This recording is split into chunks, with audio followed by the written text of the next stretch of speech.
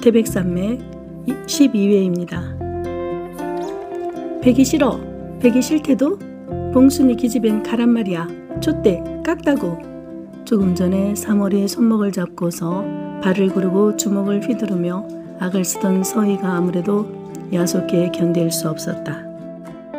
시죽시죽 웃으며 서 있는 길상이도 미워서 견딜 수 없었다. 애기씨 머리를 짱구라 안 갑니까? 짱구가 뭐야? 봉순이는 반반한 제 이마에 주먹을 갖다 대면서 이렇게 이렇게 붉어져서 나온 이마를 보고 짱구라 한다 안 갑니까?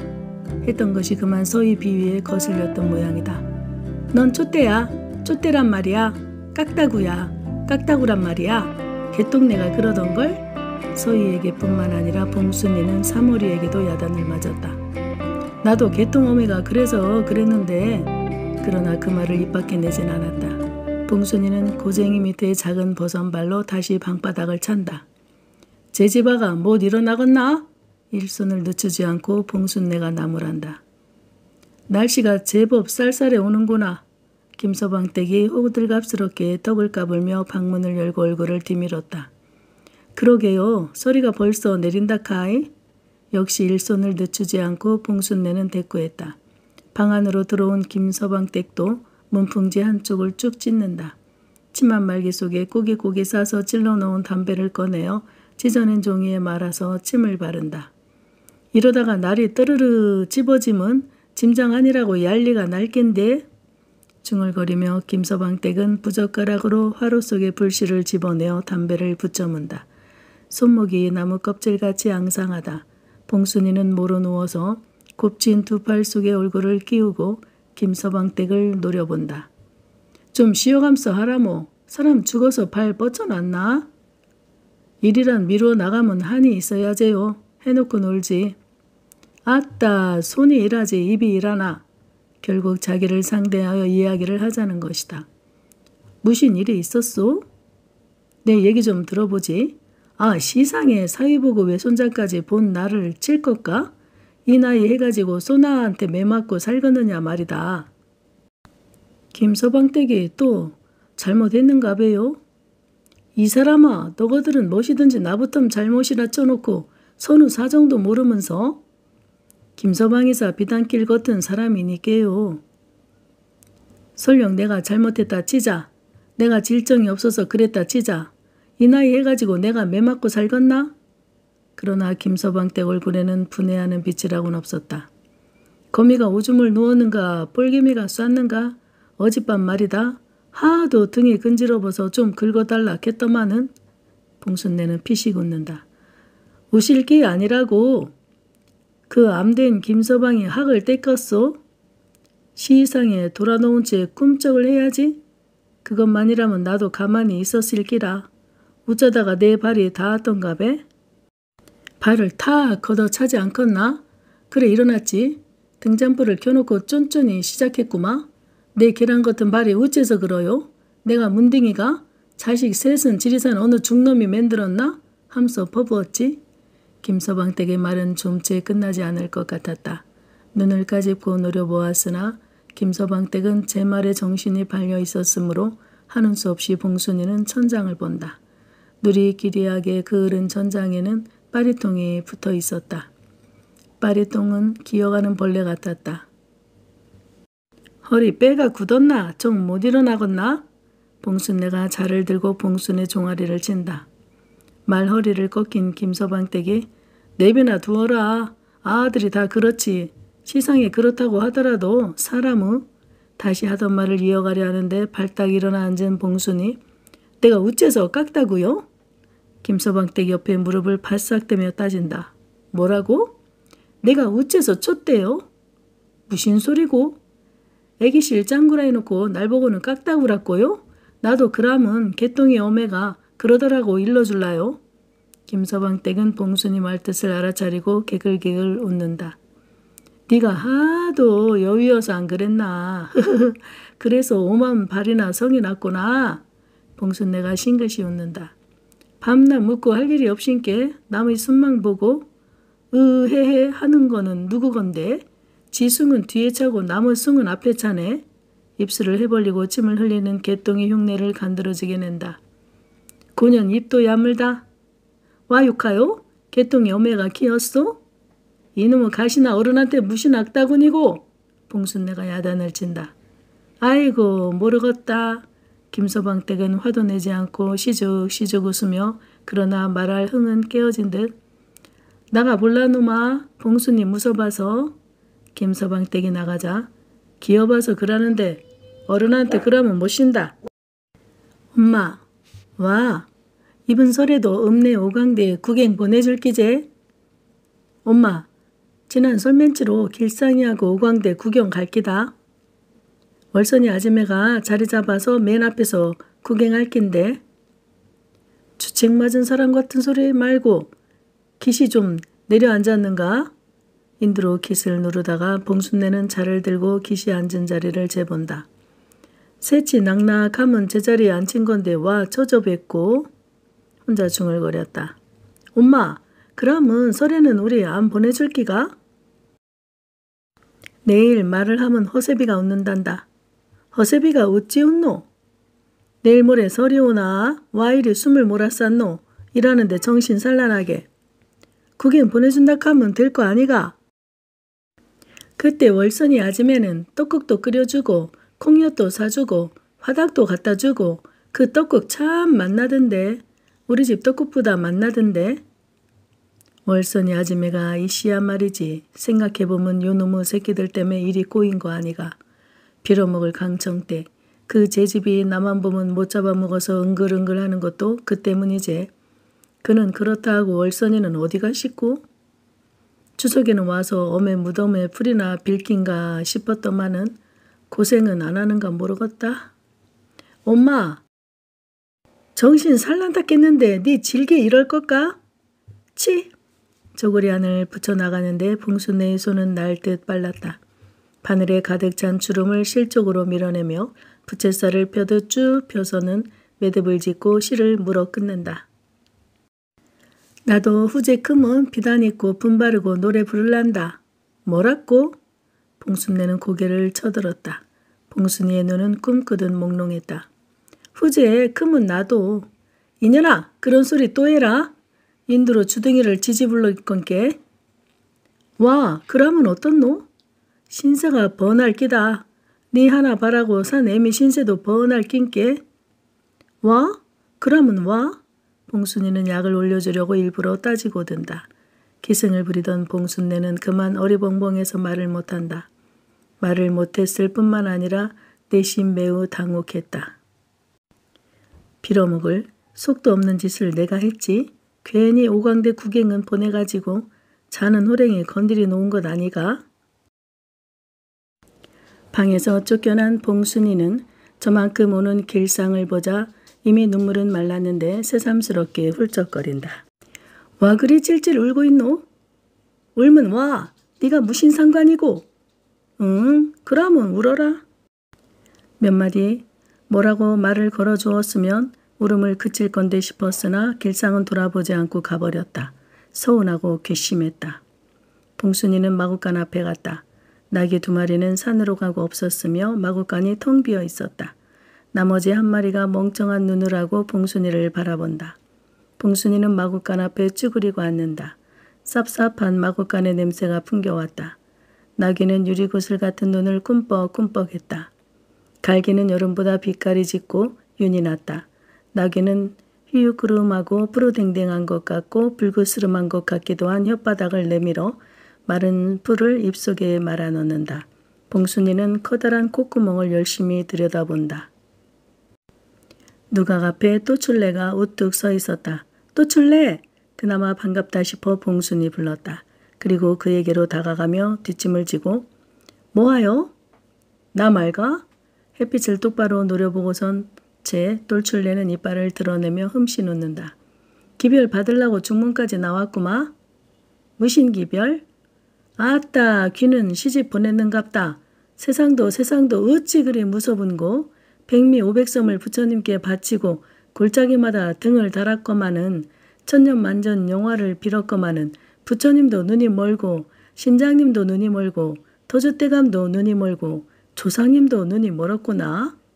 벼랑간 또출레는 손뼉을 치며 외친다. 볼때같이 포졸들이 오는구나. 내 아들이 동학당 우두머리라고요? 당치 않은 말씀 마오. 보소 나으리, 형방 나으리, 우리 아들 서울 갔소? 과거 보러 서울 갔소? 하모 진정이요. 봉순이 킥킥거리며 웃는다. 어짬은 그리 밤도 긴고 주야장천 긴긴 밤에 이의 얼굴 보고 지고 옷 같은 이의 얼굴 달 같은 이의 거동 지리상사 보고 지고 동풍이 오나허니 이의 해포 부러운가 반가울사 춘풍이요 춘풍에 피는 꽃은 웃난 듯 이의 얼굴 젖꽃같이 보고 지고 그러다가 또 출래는 동실동실 춤을 추기 시작했다. 이빨을 모두 드러내고 벌쭉벌쭉 웃으며 춤을 춘다. 간밤에 어느 길목에서 도둑대나 등짐장수 아니면 행실 나쁜 길손이 욕을 보였는가 찢어진 아랫돌이 옷자락에 마구 흔들리고 퍼렇게 멍해든 허벅지를 드러내며 또 출래는 춤을 춘다. 어느덧 엷은 햇빛은 꼬리를 감추고 서편에는 놀이 타고 있었다. 근자에 와서 사이가 뜸했던 용이와 칠성이의 거리는 배추를 뽑던 날 그 일이 있은 뒤 더욱더 벌어졌다. 들일이 끝났고 겨울 준비도 별것 아닌 한가한 철이어서 서로 어울려 술잔이나 나누려고 한다면 얼마든지 그럴 수 있는 일인데 용이는 못질을 한 월선의 주막을 본 뒤론 읍내장에 가는 일은 물론 마을 주막에도 출입하지 않아 하기는 칠성이 뿐만 아니라 다른 사람들과도 좀채 만나는 일이 없었다. 용이는 거의 매일같이 까대기에 들어박혀 가마니를 짜고 집세기를 삶고 연장 손질을 하며 날을 보내었다. 그는 골똘히 일 속에 정신을 파묻었다. 용이는 마을 친구들로부터 떠났을 뿐만 아니라 강청택에게는 더 멀리 떠난 사람이었다. 울고불고 작은 방으로 떠밀고 들어오는가 하면 미친 듯 마을을 쏘다니며 강청택은 아무나 붙잡고 시비를 벌이곤 했는데 이제는 용이를 닮아 돌처럼 굳어졌다. 싸늘하게 갈라진 내외 용이나 강청택이 다 함께 변했으나 한 가지 강청택에게 변하지 않는 일이 있었다. 그것은 이민혜에 대한 증오심이다. 온 저 제 집이 환장을 해도 한두 번 환장한 게 아니네. 지압이 죽인 세린쥐인가? 조상 맥구덕을 판 불구대천인가? 아무래도 나를 못 잡아먹어서 저리 꼬치꼬치 마르는가 배? 이민혜는 헛웃음을 웃으며 남 앞에서 강청댁을 조롱했다. 은근한 쾌감이 있어서 그러는 것이다. 그러나 이민혜는 맞붙어 싸우려고 하지는 않고 피해갔다. 마을 안악들도 이민혜 편역을 들어서 이민혜 무당 불러서 살풀이를 하든가 해라. 하루 보고 말 사이도 아니고 한 이웃에서 어디 할지까? 하며 웃곤 했다. 강정댁은 전보다 더 살림을 모르게 됐는데 집안은 옛날보다 깨끗이 정돈되고 그래서 도리어 냉기가 도는 것 같았다. 용이는 할 일이 없으면 부엌에서 식칼을 내와 숫돌에 갈았다. 말끔히 치운 외양간을 다시 치우고 쇠죽은 연달아 쑤어서 쇠죽통이 비어 소가 배를 골른 일이 없었다. 산에 가면 그는 맥을 놓았다. 가랑잎을 긁어 모아서 불을 지펴놓고 한없이 강물을 바라보는 것이다. 얼마나 오랜 세월을 이렇게 살아야 하는지 용이는 자기 자신에게 물어보기도 했다. 사내 자식이 떠난 계집을 왜 이리 잊지 못하는가 자신에게 화를 내보기도 했다. 마을에 강이 없고 길이 없었으면 하고 생각하기도 했다. 그랬더라면 나룻배에 월선이가 타 있을까? 길목을 월선이 우죽우죽 걸어올까 하는 생각도 일어나지는 않았을걸. 사람이 변할락하면 하루아침에 변한다 카더만은 어디 시상에 이서방같이 변할까? 저렇게만 변한다면 보따리에 돈 싸가지고 댕기면서 제발 바람 좀 피우소 안 가겠나? 잔손질을 해서 집안에 윤기가 돌게 해놓고 강정댁은 손 하나 까딱하지 않는다네. 남편 덕에 호강을 하니 이자는 직성이 안 풀릴겠나? 와 아니라요. 자식도 못 놓은 주제에 복이 넘고 젖어서 밤낮 젖어빠져 있다 않카요. 인물 좋겠다 풍신 좋겠다 그것만으로도 남편 복이 터졌는데 처자빠져 있어도 입에 밥이 들어가니 농사꾼 제집치고 그런 상팔자가 어디 있겠소? 사정을 훤히 다 알면서 일부러 빈정거려 보는 것인데 눈치 없는 그들 중에 하나가 그 말들을 진담인 줄 알고 입을 비축거렸다. 집에 앵이가 돌면 뭐하겠소? 풍신 좋고 인물 좋으면 뭐하겠소? 한 지붕 밑에서 남남으로 사는데 음식이사 묵기 싫으면 두었다가 다시 먹지만 사람은 싫은 거사? 하모요? 사람 싫은 세상은 못 산다 깝디다. 쪽박을 차고 빌어먹어도. 다른 안악들은 시치미를 떼고 너 말이 맞다 맞다 하며 맞장구를 치면서 까르르 웃어 젖히는 것이었다. 밖에 인심 같은 것은 아랑곳 없는 강정댁은 우물가에서 이웃을 만나도 입을 쿡 다물고 있었다. 물만 끼고 나면 온다 간다 말없이 횡하니 가버렸으며 나중에는 숫째 밤에 아무도 없을 때를 골라 물을 길어가게 되었다. 마을에서는 다시 소문이 퍼졌다. 시어머니 몇 등의 잔디불을 와득와득 뜯고 있더라는 둥. 한밤중에 개천가에 나와 우두커니 앉아서 혼자 중얼중얼 씨부리고 있더라는 둥. 월선 어미의 신이 강정댁한테 집혔다는 둥. 동지딸 초여덟의 날은 용이 모친의 기일이다. 제사장을 보기 위해 용이 망태를 메고 집을 나서려 했을 때 강정댁은 깔아놓은 멍석에 앉아서 제기를 닦고 있었다. 강바람은 매웠다. 추위가 일찍 오는 모양이었다. 바람이 모래를 씻고 온다. 용이는 소매 끝으로 눈을 비비며 걷는다. 못질한 월선이 주막을 본 뒤 여러 달 만에 가보는 읍내 장길이다. 강둑에서 아이들이 연을 올리고 있었다. 바람이 구름을 다 날려버린 맑고 푸른 하늘에 하얀 소연이 둥둥 떠서 올라간다. 바람을 잘 잡아 올리는 연은 높이 하늘 높이 물레의 줄을 풀면서 올라간다. 용이 나루터 쪽을 내려갔을 때 낚싯대를 걸쳐놓고 뱃바닥에 고인 물을 퍼내고 있던 한조가 용이 형님 하고 불렀다. 장에 가요? 음, 뭐가 좀 물리나? 허참, 썩어 빠진 배 물 퍼내기 바빠서 요새 와 그리 볼 수가 없습니까? 내일이 어머니 기일인데 아, 참, 장날 다음이라 잘 잡수겄소? 도만 있으면 장날이고 뭐고 있나. 어디 가도 만수판이지. 계기는 어쩔기요? 자반 계기는 사야 안 하겠나? 내 계기 사소. 애기 미친놈 세상에 민물개가 쓰는 법도 있나? 한조는 껄껄 웃는다. 이분 가설에는 윤보 형님이 안 오시는데 무신 사단이 생긴 거 아닌지 모르겠소? 그러세 설에도 안 오시면 필요 국절이 있을기요. 뭐 무신 일이 있을라고. 허참 무신 일이 있다면 기일이나 알아야 제사나 지내주지. 실없는 소리 마라. 사람의 맹이 그리 허술한가.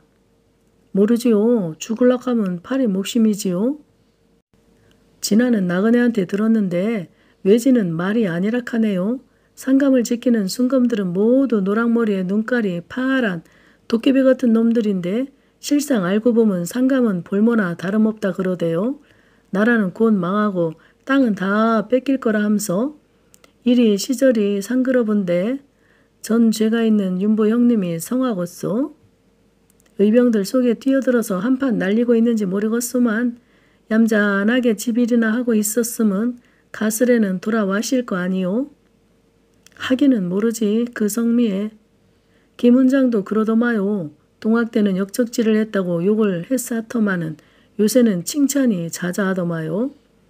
그래도 쓸모있는 놈이라 의병들 속에 끼어들었을 기라 하심서 용이 읍내장에 들어서려 했을 때 그의 눈은 어쩔 수 없이 월선의 주막으로 갔고 멈추어진 다리는 말뚝같이 움직이지 않았다.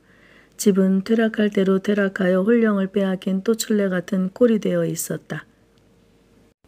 몇 달지간인데 사람이 살지 않는다는 것만으로 저렇게 변할 수 있을까? 모두 황금빛 지붕인데 오목하게 새 이영을 갈아입고 겨울을 맞는데 월선의 주막은 회갈색의 지붕이 그나마 한 귀퉁이 푹 꺼져서 여름이 오기 전에 구멍이 뚫릴 것 같았다. 이용을 갈아야겠다. 벼랑간 떠오른 생각은 크나큰 위안이 되었다. 집이 모자라면 두만 형님한테 빌리지. 지척에 월선이 있는 것 같은 생각이 들었다. 퇴락한 집은 월선의 육신 같은 생각이 들었다. 지붕에 이용을 입혀주는 일은 월선에게 옷을 입혀주는 것과 마찬가지로 느껴지는 것이다. 찢겨지는 것 같은 슬픔 속에 한 가닥 따스한 충족 같은 기분이 돌았다. 몹쓸 것, 장은 안산했다. 가을이 지나고 겨울로 접어든 시기, 설 대목에 오기까지 장은 쓸쓸할 것이다. 장타령하는 각설이 떼들의 목청에는 힘이 없고 아들 만나러 서울 간다던 박물장수 노인의 외침도 힘이 없고 물건들은 묽고 낡아서 떼국이 흘렀다. 그것들은 일찍 온 추위에 오종종 떨고 있는 것 같았다. 주막만 득실거렸다. 시래기국에 막걸리 한 잔을 곁들여 추위를 풀고자 하는 장사꾼들이 쉴 새 없이 들락거렸다. 2월 꽃바람에 죽늙은이 얼어 죽는다 하더만은 겨울도 문턱인데 와 이리 집어? 사람도 술에 물 탄 듯 물에 술 탄 듯 하면 못 쉬는 기라. 집을락 하면 바싹 집어야 기운이 나지. 아따 이 사람 동삼 삶아 먹었나? 용이는 예년과 다름없이 제사 장을 보아 망태 속에 넣었다. 마지막 향과 초를 사기 위해 자파상 앞에 머물렀다. 구면이네. 혀구부라진 소리가 들렸다. 용이 얼굴을 들고 힐끗 쳐다본다. 아, 생각이 나나? 야, 눈꺼풀이 내려지고 얼굴 근육이 굳어진다. 그새 통 볼 수 없더만은 그래 마음은 잡았나?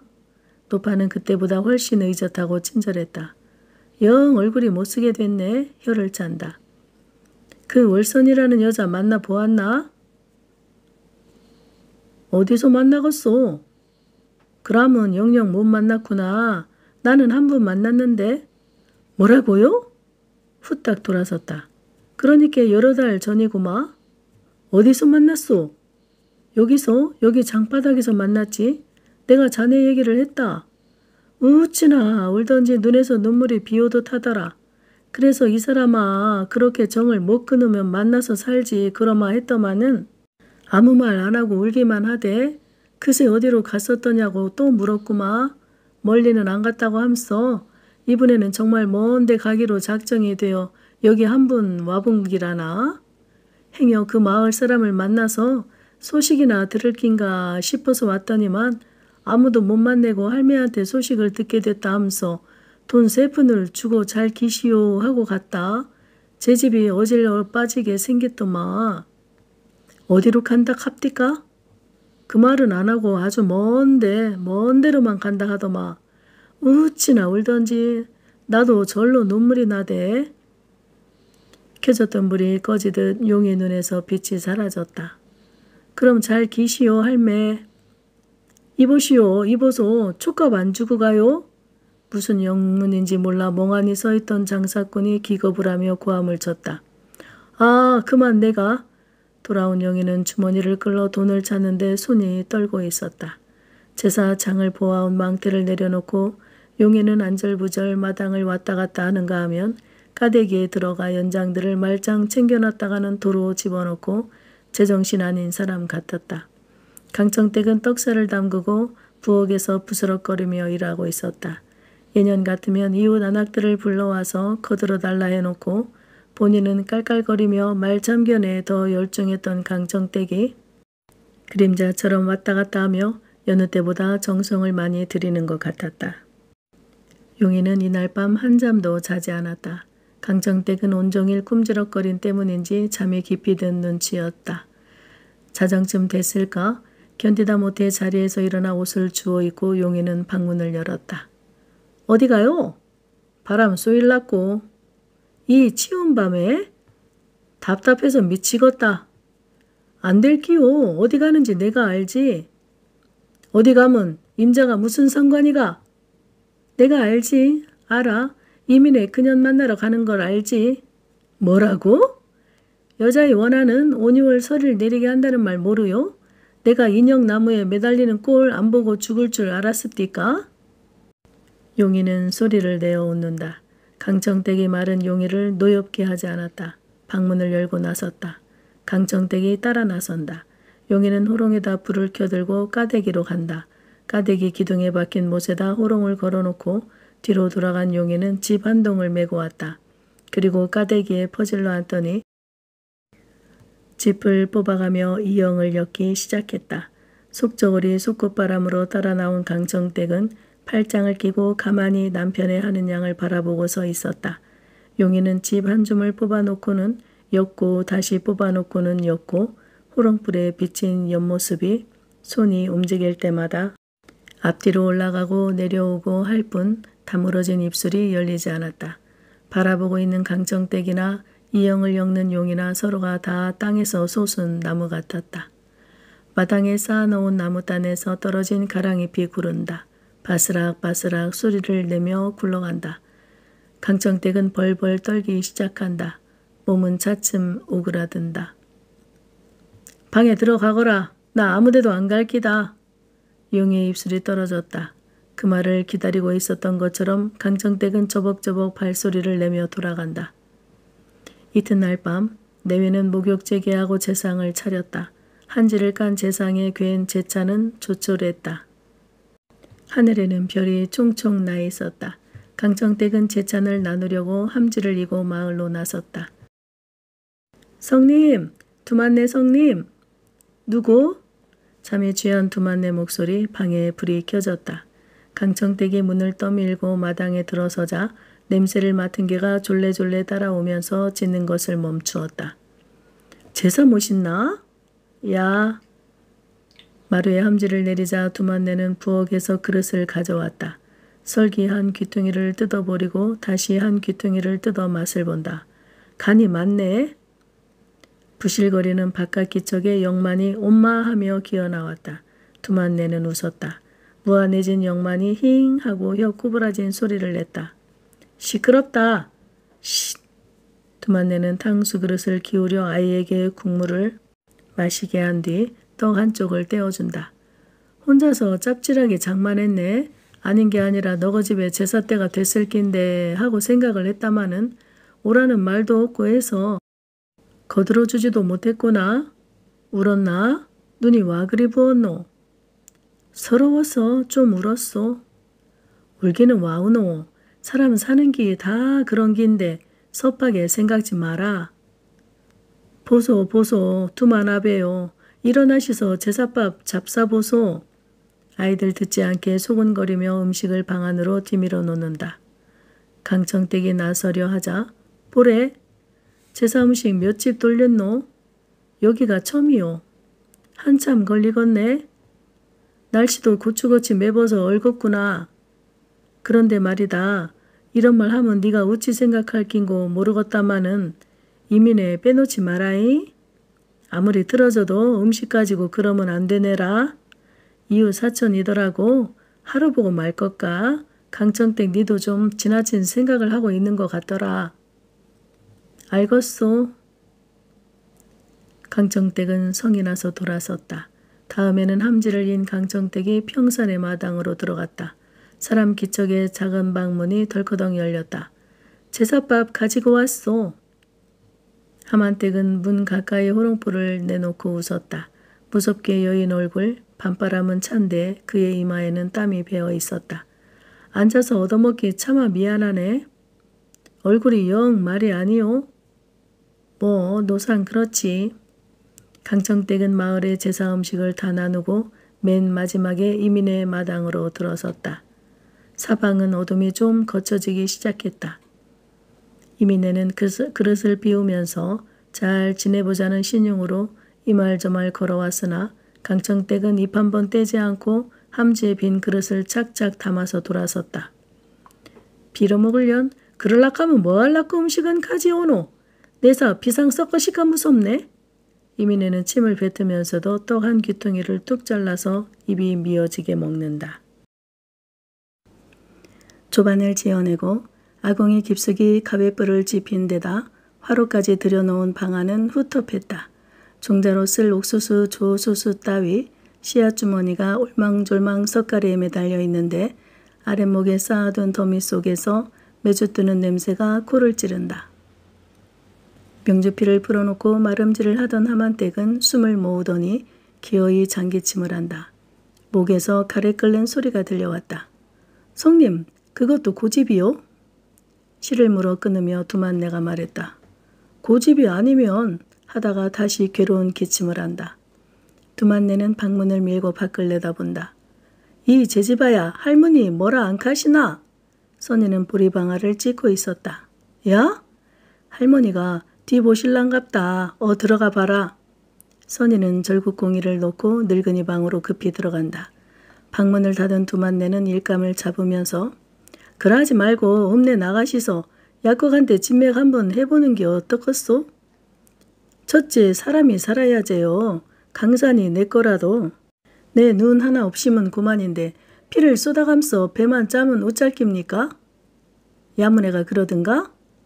야 피를 쏟고 까무러쳤다면서요. 마침 야문애가 가시니께 그러한 애심은 큰일 날뿐안 했겠소?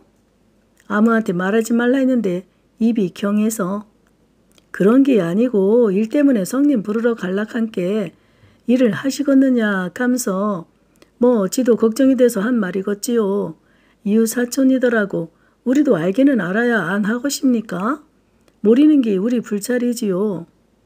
온 마을에 일을 될까 싶었더만은 가보니까 그냥 길쌈을 하고 기시길래 늘 신세를 지면서 큰일 때마다 부조는커녕 싹쓸 받고 일을 하니 자네 볼 낯이 없네. 별 말씀을 다 하시오. 그런 걱정은 마시고 이번에는 일 안 하신 셈치고 약접이나 잡수이소.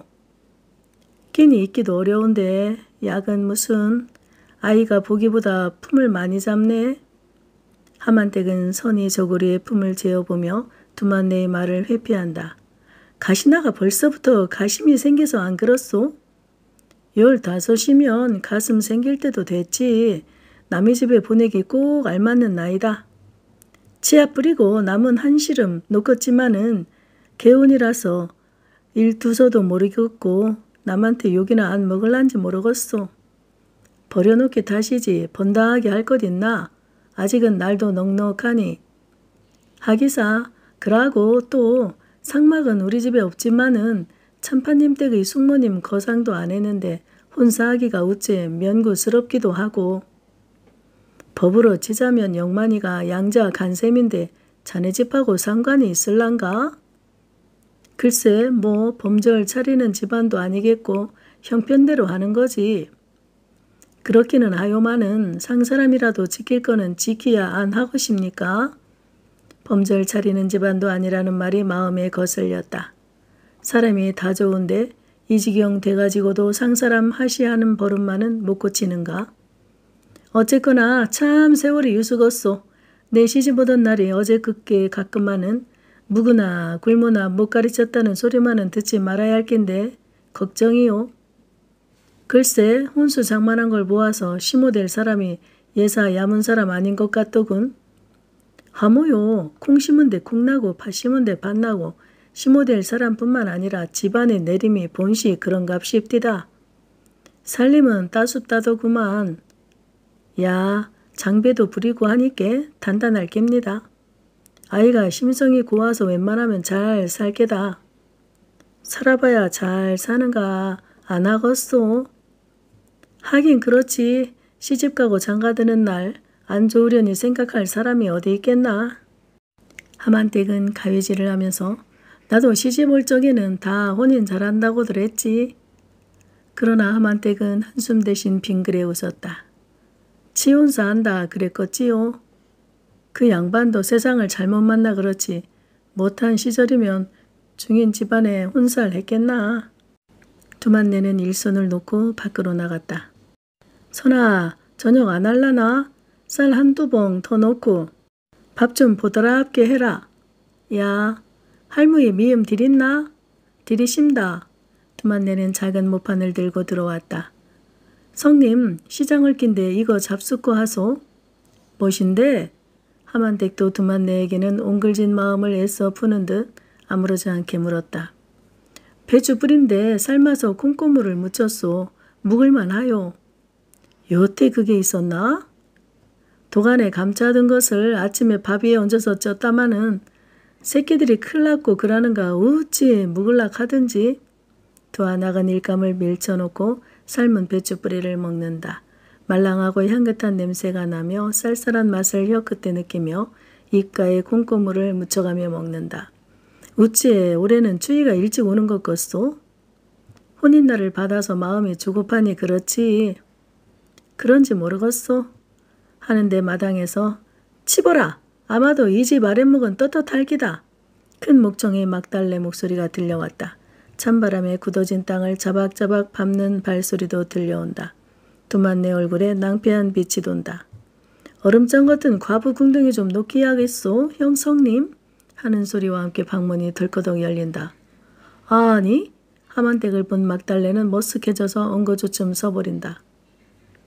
고벤 죄인도 아니겠고 내가 못 들어갈 건 먹고 방문을 덜커덩 닫고 막달래는 팔짱을 끼며 두만내 배 쭈그리고 앉는다. 와, 더 안 잡숫고? 많이 먹었네. 막달래 니 좀 묵어볼라나? 두만내는 모판을 막달래 앞으로 밀어낸다. 이 귀한 기 아직 있었던가 배요? 막달래는 냉큼 집어서 한 입 베어문다. 혼산말을 받았다면서요? 음. 하만댁을 힐끗 쳐다본 막달래는 셋내야 본시에 본바 없고 배운 기 없어서 지랄한다. 두만내가 가로막듯이 말하며 눈을 껌뻑인다. 마른 자리 이리서 할수 있겠소? 허드렛 일이라도 있으면 시키소. 아직이사 뭐 남은 날이 넉넉한 게 급히 서둘 일도 없다. 와 그리 늘어지게 나를 받았소. 혼산 날은 예사로 안 치껍는데. 그러기 말이다. 나를 받다 본께 그집 제삿날이 있고 해서 달도 가시야가 없고 자연 그리 됐는갑더라. 가스레 했으면 좋았을 낀데. 와 아니라. 소문 들은 게 그 집 인색함이 된 거는 내림이라 하던데 선이도 시집살이가 어려울기요? 그래야 사람이 되제? 했으나 두만내 얼굴은 유쾌해 배지는 않았다. 나 어제 화심리 갔다 왔어 성님. 뭐하러? 큰곳 한다 해서 구경 안 가십디까? 할 양이네. 읍내 쌀기가 와서 하는데 낯짝 하나 볼만할까 신이 올라야 말이지요. 쌀기는 선무당인께 얼굴 하나는 반반하지. 기생도 이물보다 가무가 좋아야 명기가 된다 하는데 맹물이요 맹물. 가끔만 만지면서 사설이 돼 있어야지. 오메 야단났소? 삽작 밖에서부터 외치는 선이 목소리가 들려온다. 와 그라노? 거북 어머니 큰일 나심도. 일손을 멈춘 하만댁 얼굴에 피기가 가신다. 말을 해야 알제. 무슨 일고? 저, 내, 내가 물을 깃고 있는데 거북이가 봉순이를 돌로 쳐서 피가 막달래와 두만내가 동시에 일어섰다. 이거 큰일 났구나. 그의 일은 터지고 말았네. 내가 뭐라 했노? 동네 가운데 못 들기라고 그리 말했는데 애비 아들이 모두 계백전가? 사람 알기로 응? 막달래도 삽작을 나서며 얼씨구나 싶었던지 악을 쓴다. 먹는 모양으로 빛을 잃은 하만댁의 작은 눈이 천장을 한 번 보고 방문을 한 번 보고 방바닥을 쓸며 일거리로 옮겨지자 그는 아무 일도 없었던 것처럼 다시 일을 시작했다. 골똘히 골똘히 그는 일 속으로 빠져들어간다. 날듯 달려가는 선의를 따라 두만내는 뚱뚱한 몸을 뒤뚝거리며 쫓아가고 막달래는 팔짱을 낀 채 논두길을 걸어간다. 이놈아 이놈아 서희 목소리만이 찡찡 울리고 있다. 꽃신을 벗어든 서희가 장석같이 서 있는 거북이 무릎을 꽃신으로 때리는 것이다. 거북이 얼굴은 잿빛으로 변해 있었다. 두만내는 피투성이가 되어 쓰러진 봉순이를 안아 일으킨다. 물 깃는데 봉순이가 죽었다 하면서 아이들이 떠들어면서 도망을 치길래 와보니까 선이 숨을 헉헉거리며 짓거린다. 시끄럽다. 어 가서 물 한 바가지 못 가져오겠나? 하자 선이 우물가로 달려가고 서희한테 꽃신으로 정강이를 얻어맞으며 장석같이 서있던 거북이 벼랑간 울음소리를 지르며 쏜살같이 달아난다. 거북이 달아나는 서슬에 낮아빠진 서희도 울음보를 터뜨렸다. 선이 물바가지를 내밀었다. 두만내는 한입 가득히 물을 머금고 봉순이 얼굴에 뿜는다. 봉순아, 아가! 봉순아, 내가 보이나? 두만내 말을 따라 선이 봉순아, 내가 보이나? 하며 소리를 지른다. 음, 살았다, 봉순아! 선이 소리 질렀다. 서희는 발을 버둥거리며 귀청이 찢어질 만큼 악을 쓰며 울부짖고 있었다. 선아, 어 가서 애기씨 달래라. 그러고 어버라. 코피를 쏟았는가 배. 아니 이맛박이 터졌구나. 쯧쯧. 계집 자식이 면상에 숭이지면 안 될 낀데. 이 지길놈들 동네 가운데 두겄나? 내 이놈들 당을 지어가지고 좋은 뻔은 안 보고 개백정 같은 그놈의 손 하는 짓만 따라하고 내 이놈들 나무에 매달아가지고 오줌을 싸게 패야지. 막달라가 주먹을 휘두르며 고함을 치고 선이는 고래고래 소리 지르는 서희를 억지로 업으려고 애를 쓴다. 우리는 안 그랬소. 봉순이가 상놈의 새끼라고 욕을 한 게 거북이가 때리소. 봉순이 보고 길상에 각시락 한게요. 아니요.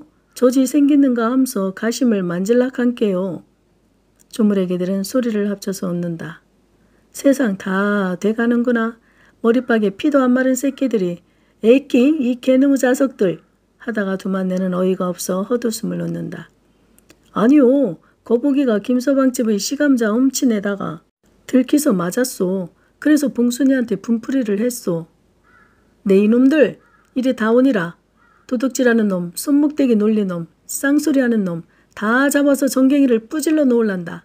막달라가 주먹을 휘두르며 쫓아가자 거미알같이 사방으로 흩어지면서 조물애기들은 나는 봉순이 안 때렸소? 나는 시감자 안 파먹었소? 나는 쌍소리 안 했소? 제가끔 발뺌을 하며 달아난다. 두만내는 봉순이를 안고 선이는 서희를 업고 꽃신도 찾아들고 논두길로 해서 최참판댁을 향해 걸어간다. 봉순내한테는 금지 오겹인데 뼈가 아프겠다. 이맛박에 숭이나 앉았으면 좋겠는데 여시가 면상에 숭이지면 안 될 낀데 혼자 중얼거리며 두만대는 서편에 떨어지려는 해를 가득히 안고 간다. 서희도 선이 등에 업혀서 여전히 울음을 그치지 않고 있었다. 방문을 열고 두만내가 방 안으로 들어갔을 때 양어깨가 한 번 흔들렸으나 그의 일손은 멈추어지지 않았다. 까무라 쳤던가 배요. 코피를 쏟고 비로소 이를 놓고 하만댁은 두만내를 올려다 보았다. 일시에 땀구멍이 열려지는가 얼굴에 땀이 솟아나고 입술을 떨기 시작했다.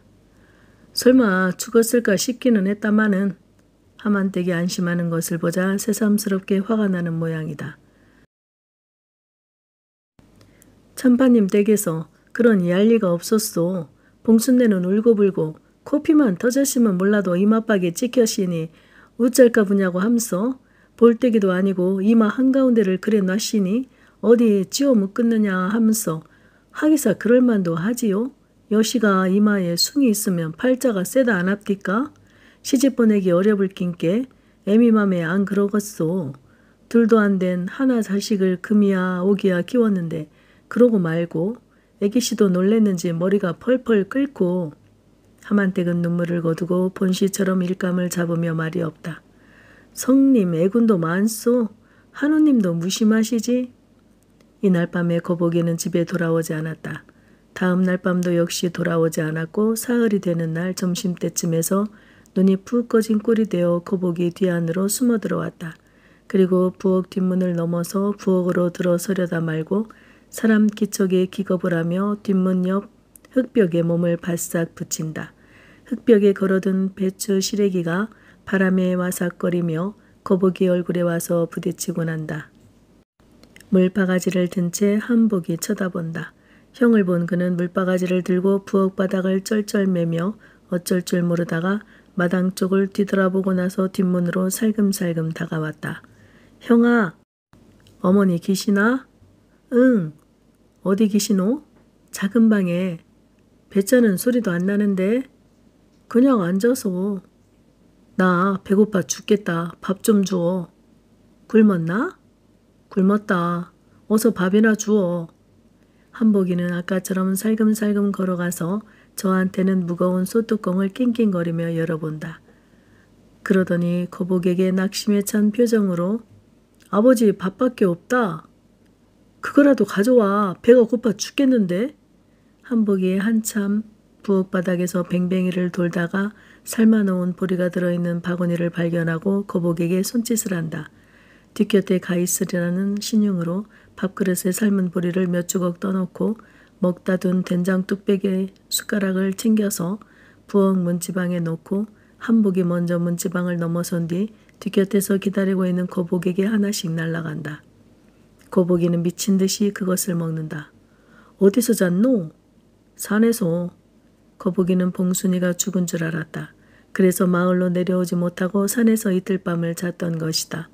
너무 배가 고파서 도토리를 주워 깨물어 먹고 손톱이 빠질 지경으로 흙을 헤쳐 나무 뿌리를 파먹고 했으나 여기는 되지 못했다. 배가 고프고 추워서 미칠 지경 더 이상 견딜 수 없어 마을에 내려왔다가 조무래기를 만났다. 봉순이가 죽지 않았다는 소식에 마음을 놓은 거북이는 집에 돌아오기는 했으나 역시 어머니가 무서웠다. 어지간히 허기를 채운 거북이는 어머니 뭐 하시노? 하고 다시 물었다. 아무것도 안 하신다. 와? 한복이 어린 눈에는 비난이 있었다. 어? 어머니? 벼랑간 뒤로 낮아빠진 거북이 소리를 지른다. 언제 왔던지 한만떼기 뒤에서 멱살을 잡았던 것이다. 어머니 잘못했습니다. 한 번만 용서해 주시오. 거북이는 멱살을 잡힌 채 질질 끌려간다. 한복이도 울면서 따라간다.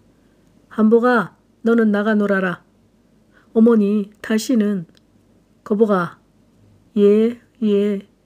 아무리 생각해봐도 너 죄가 아니고 내 죄인 것 같다. 제, 제가 잘못했습니다.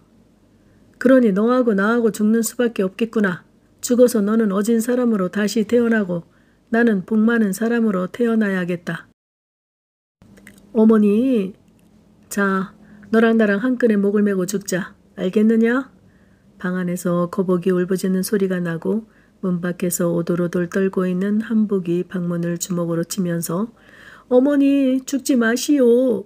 방 안에서 발버둥을 치던 거북이 소리를 지른다. 한복아.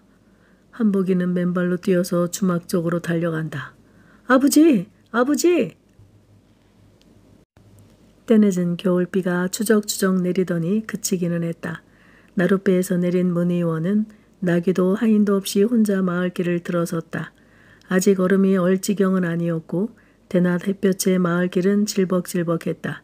지게를 내동댕이 쳐놓고 초동들이 두 개 다 불을 놓고 있었다. 띠잔디는 축축할 텐데 바람에 말랐는가 그럭저럭 타들어가고 있는 모양이었다. 김은장 대문 앞 배까지 간 문의원은 여봐라 하고 장기침을 하자 이내 김은장이 나타났다. 아니 어찌된 일이시오?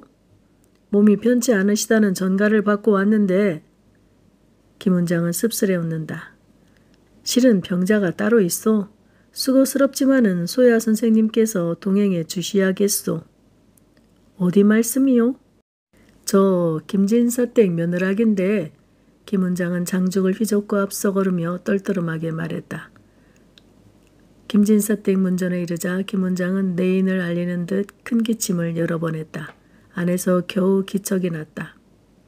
아주머님, 소야 선생께서 오셨소이다. 오르십시오. 김 원장은 이곳 사랑에서 자기는 기다리겠노라 하고 물러난다. 얼마나 오랫동안 불을 지피지 않았던지 사랑방은 얼음장이었다. 김원장은 엉거주춤 쭈그리고 앉아서 담배를 담아 피워 물고 방 안을 돌아본다. 여름에 썩어서 무너진 장판지 사이로 흙바닥이 드러나 있고 찢어진 문종이 사이로 찬바람이 사정없이 스며 들어온다. 흠, 뭐니 뭐니 하지만 무후가 가장 처참하군. 이렇게 한 집안이 문을 닫히다니. 남은 사람이라곤 내가 있을 뿐인데 장차 일을 어찌하면 좋을꼬? 김원장은 가을 추수를 끝내놓고 부치가 몇 사람 살고 있는 함양을 다녀온 일이 있었다. 역시 허행이었다. 다만 그는 부모도 없이 떠돌아다니는 30이 다된 10촌이 훨씬 넘는 김씨 부치가 한 사람 있다는 말을 듣고 왔다. 위인이 모자라기는 하나 어질고 아직 성례조차 치르지 못한 불쌍한 노총각이라는 것이었다. 명년에야말로 어떻게 해서라도 그 사람을 찾아보아야 후사를 맡기지 못하고 내가 눈을 감는다면 지하에 계신 선조들을 무슨 낯으로 대하겠는고? 집을 날리고 땅을 파니 하는 있더라도 얼마나 시간이 흘렀을까? 문의원이 나오는 기척에 김 원장은 벌떡 일어서서 사랑을 나섰다. 차마 냉방에 문의원을 들어오게 할 수 없었던 것이다. 병세를 묻지도 않고 수고가 많았었다는 인사를 한 뒤 김 원장은 올 때처럼 장죽을 저으며 앞서 질척거리는 길을 내려간다. 자기 집 앞에 당도했을 때 소찬이나마 점심이라도 함께 하시지 않겠소? 최참판 댁에 가면 진수 성찬의 대접을 받을 것을 모르는 김은장은 아니다. 권한은 성의를 받고 안 받고는 문의원의 자연이 예의를 지킴은 김은장의 도리였다. 예, 신세를 지겠소이다. 소야 선생께서 김평산이 그자 안학내에게 약을 지어 보내셨소? 문의원이 대답 없이 빙그레 웃는다. 그 괴연한 짓을 하시었소. 그러잖아도 약접을 돌려보내 왔더구먼요. 그자가 제 약으로 지어 보냈더라면 그따위 호기는 부리지 않았을게요. 글쎄 올시다. 소야 선생께서는 어떻게 하시고? 실은 일전에 다녀간 일이 있지 않았소? 예, 그 김평산이 아들놈 때문에 최참판댁 아기하고 친모 딸이 예, 아기가 경풍을 일으켰지요. 그때 우연히 죽은 갓난 할멈의 조카 며느리를 만났지요. 이평이 안학내 말씀이요? 그렇소. 그래 그 사람이 김평산의 시린 얘기를 하더구만요. 얘기를 듣고 보니 병은 폐결핵이 아니겠소? 허허 그거 참.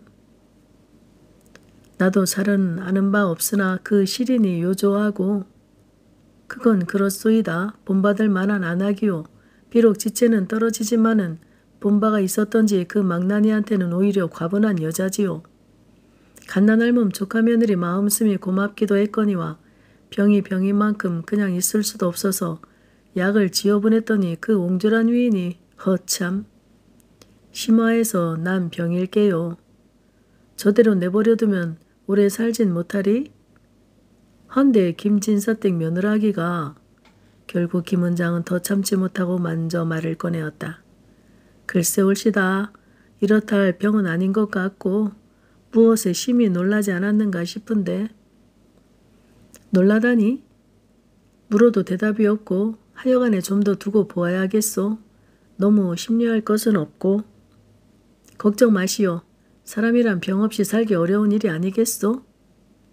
마침 밥상이 들어왔다. 개다리 소반에 깡보리밥 두 그릇, 된장국, 김치에 간장 종지, 그것이 전부였다. 드십시오. 달게 먹겠소이다. 두 사람은 말없이 점심을 먹기 시작했다. 김원장은 본시 먹성이 좋았으나 문의원도 목에 걸리는 깡보리밥을 마다 않고 그릇을 비웠다. 아까도 이야기가 좀 났지만은 연작 불생봉이더라고. 김평산이 그자의 아들놈이 여간 말썽이 아니오. 도벽이 있어서 일전에도 동사에 마을 사람들이 모여 의견이 많았으나 차마 마을에서 쫓아낼 수도 없고 그 어미가 죽기를 작정하고 아들놈과 함께 목을 맨 모양인데 아비란 자가 달려와서 아들놈 비행을 나무랄 생각은 않고 반 죽음이 된 안악을 까무라치도록 때린 모양이오. 그 말은 들었소. 그런 자식이라면 아예 없는 편이 나을 듯도 싶소이다. 허나 생각하면 우리 집안일도 낭패요. 김진산댁 사랑해서 생각한 일이오만 가만히 생각하니 무후같이 처참한 일은 다시 없을 성 싶소. 수제를 두어서 가학을 잊지는 못할 망정 선영 받들 자손만은 있어야 퇴락한 사랑을 바라보니 참으로 모골이 서늘해지너이다. 아닌 게 아니라 두 분 청상의 정황을 보니 수미부터 살아있다 할 수는 있으나 성장과 진배 없는 인생 아니겠소? 뜰한 출입도 덜어 하시고 해야 할 터인데 그분들은 죄인으로 자처하고 계시니 딱하오. 양반의 채통도 소중하게 하겠으나 채통 지키기 위해서 세상에 태어난 것도 아닐 터인데 어찌 채통이라고만 하시오? 사람의 도리지요. 김생원께서는 특기가 역겨울지 모르겠소만 시초의 도리가 지금 도리로 지켜져 내려와 있질 못하오. 재수가 산더미 같으면 뭘 하겠소? 정한수 한 그릇에 망인에 대한 정회의 눈물을 흘리는 것만 같지 않지요. 소야 선생께서는 어찌 사팔 눈으로만 세상을 보시오? 사팔 눈으로 보는 것은 피장파장인가 하오.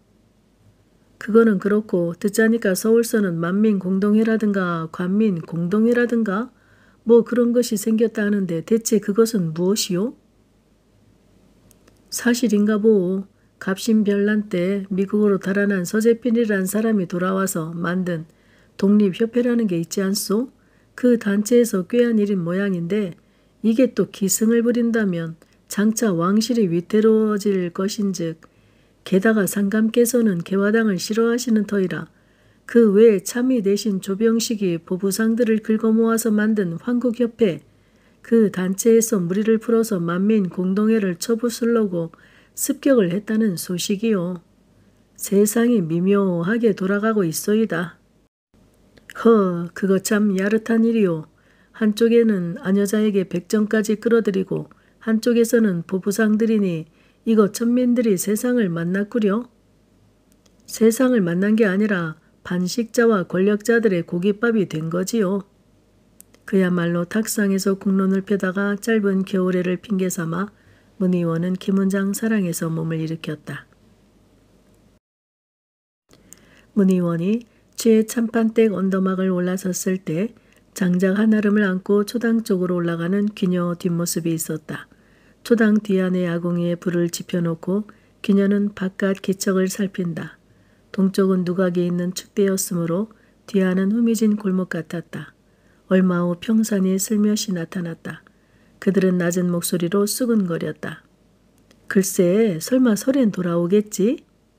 그렇기야 하겠지만 행여 지체가 되면 산에서 얼어 죽거나 호랑이 밥이 되었으면 안성 맞춤이겠다만 헤헤 누워서 떡을 묵으면 눈에 고물이 떨어진답니다.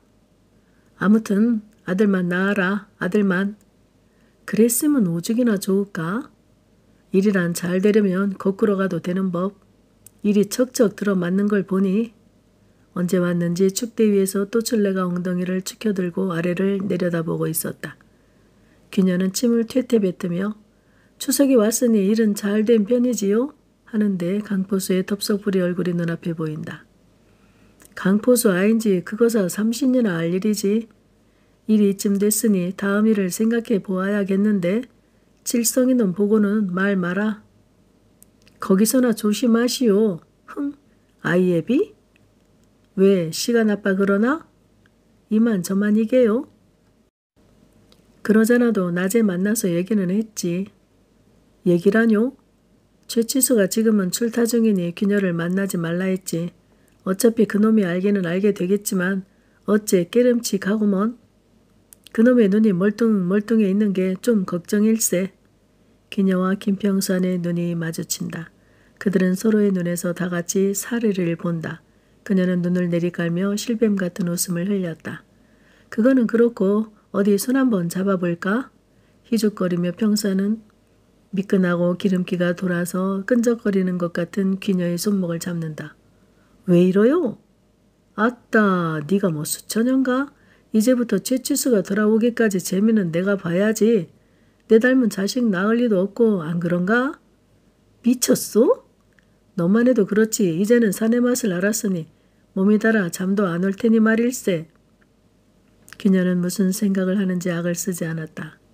그야 의논이 잘 되면 기왕 버린 몸 많이 걷소?